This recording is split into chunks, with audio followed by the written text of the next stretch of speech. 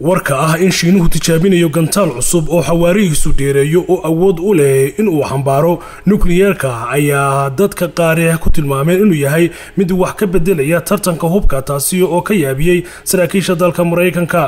haddaba intee ayuu leegyahay xawaaraha hubka ayaa la weydiiyey. Mid ka mid a saraakiisha dalkaasi ee amniga waxaanu sheegay inuu yahay xawaarihii ugu dheereeyay ee dhinaca hubka. Saanada gudaha sanadkani gudihiisii laba jeer ayuu milatariga shiinuhu gantaal u diray hawada sare kaasi oo ku wareegay dunida ka hor intii uusan si xawli ah u dhicin. Bartilmaameedkiisa halkii loogu talagalay tijaabadan shiinaha ayaa imanaysa iyada oo dabayaaqadii bishan aynu soo dhaafnay ay bentagonka dalka maraykanku sheegay in maraykanku ku guulaystay tijaabada gantaala aada xawaarihiisu u sarreeyo oo shan jeer ka dheereeya xawaaraha codka. Gantaalkan ayaa laga sii daayay diyaaradaha ilbiriqsi uun ka hor intii uusan motoorku uunu bilaabin hawshiisa waa tijaabadii ugu horreysay ee noocan oo kale ah ee uu maraykanku ku guulaystay tan iyo sannadkii labadii kun iyo saddex iyo tobankii. Tijaabadan waxa ay dhacday iyada oo maraykanku iyo xulafadiisu ee caalamigaahi ay sii dardargelinayaan sida ay u samayn lahaayeen hubka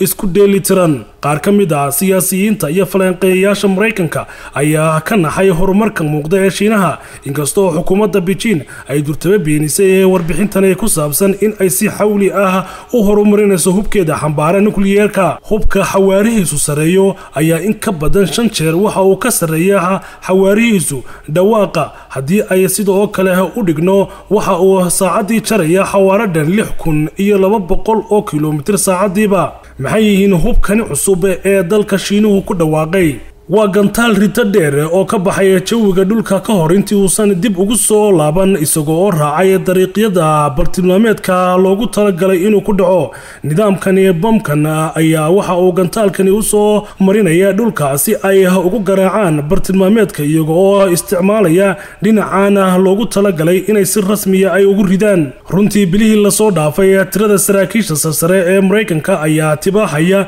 in horumarka noocan ee shiinuhu uu yahay khatar culus nidaamka hubkani cusub waxa uu sii wadayaa midowgii soofiyeti intii lagu jiray dagaalkii qabooba. Waxauu hadda u muuqdaa buu yidhi in shiinuhu uu soo noolaanayo hubabkii kala duwanaa ee uu xilligaasi isticmaali jiray. Waxa uu shiinaha u muuqdaa in uu sameeyey ayaa ah in laysku daray farsamo yaqaano iyo tiknolojiyad kala duwan oo casriya taasi oo shiinaha gacanta u gelisay inay samaystaan hubka noocan oo kale ah waxa uu marayaa cirifka sare iyagoo oo ka fogaanaya raadka iyo difaaca gantaalaha laakiin sababtu waxay tahay gantaalka noocan oo kale ah iyo ridada uu ugu dheer ee laga sugayo inuu ku rido halkii loogu talagalay. Dowladda dalka beijing ayaa ka cabsi qabta inuu maraykanku u adeegsan doono aaladda casriga ah ee isku darta awoodaha nukliyeerka ee la casriyeeyey ee difaaca gantaalka haddii maraykanku uu markii hore garaaco beijing nidaamka difaaca gantaalaha ee algis waxaa laga yaabaa in uu awoodo in uu xakameeyo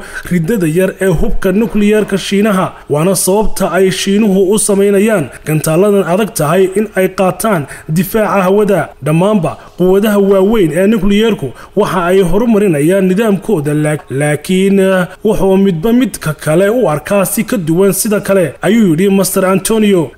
beijing iyo moscow labadooduba waxay u arkaan in hubkani xawaarihiisu sarreeyo uu yahay mid khatar ah taasi oo ay isku difaacayaan wadamadaasi gantaalahan ayaa aaminsan yihiin in haddii uu hawada sare galo inuu xawaaro dheer keenayo laakiin taa beddelkeeda maraykanku waxauu qorshaynayaa inuu u adeegsado in uu ku garaaco waxaa loogu yeero bartilmaameedyada adag sida waxyaabaha taageerada xakamaynta nukliyeerka iyagoo adeegsanaya madaxyada caadiga ah ama kuwa nukliyeerku karayn. Qaar ka mida dadka u ololeeya casriyeynta nukliyeerka maraykanka ayaa sheegay in ay arrintani shiinuhu u adeegsanayo ay tahay arrin khatar ah oo maraykanku si rasmiya uga soo horjeestay. Laakiin khubarada qaar ayaa ku raacay in uu tijaabadani shiinuhu samaynayo ay tahay mid halis gelin karta caalamka taasi oo kun sagaal boqol sideetankii ay ugu dambeysay dowladda dalka maraykanka. Dalka maraykanka ayaa walaa xooga ka muujiyey arrintani hubka. Waxaanu sheegay inay ka soo horjeedaan guud ahaanba arrintani ay ku kacday dowladda dalka shiinuhu laakiin uma malaynayaan bay yidhaahdeen barnaamijkan shiinuhu iyo ruushka oo kuuriya ay qayb ka tahay inay u adeegsan doonaan difaaca gantaalaha maraykanka. Ay tahay in ay ku khasaaraan oo ay ka soo horjeedo dowladda dalka maraykanka caqabadaha ka iman kara hubkani ayaa waxa uu noqon doonaa mid kor u qaada walaaca dalka maraykanku ka qabo hubkani cusub ee uu samaystay dowladda dalka shiinuhu. Dhammaanba dalka maraykanka la taliyayaasha ayaa doonaya inay casriyeeyaan oo kor u qaadaan hubka nukliyeerka dalkooda. Hubka shiinuhu si kasta oo ay ahaataba weli waa uu ka soo horjeedaa dowladda maraykanku laakiin walaacyada ku saabsan difaaca gantaalaha maraykanka iyo nidaamka nukliyeerka ayaa waxa ay ku khasbaysaa in dhammaanba ay casriyeeyaan dowladda shiinuhu hubkooga. Kuuriyada waqooyi sidoo kale waxa ay ku dadaalaysaa inay casriyeyso awooddeeda nukliyeerka sida ay qortay jariirada ankin taasi oo iyadu qayb ka ah in ay kor u qaado awoodda dhinaca nukliyeerka dalkeeda